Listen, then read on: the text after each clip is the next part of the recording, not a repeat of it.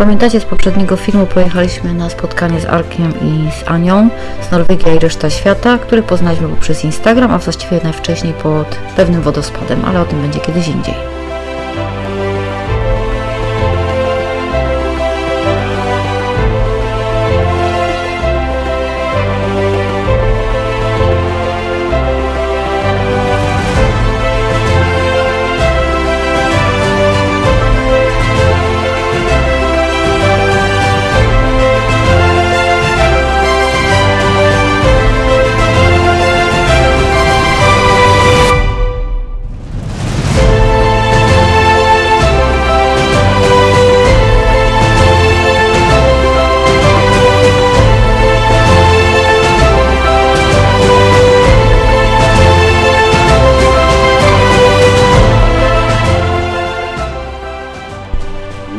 Agniesia tu poprawia mnie cały czas za kulisami, że to nie jest dno rzeki, tylko dno Da, wąwozu, przez który płynie rzeka.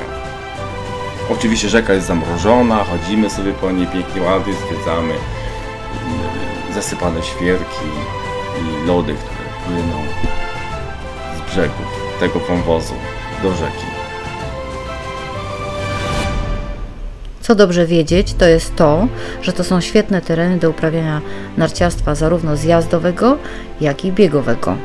Świetne tereny również do uprawiania turystyki pieszej i to zarówno latem, jak i zimą.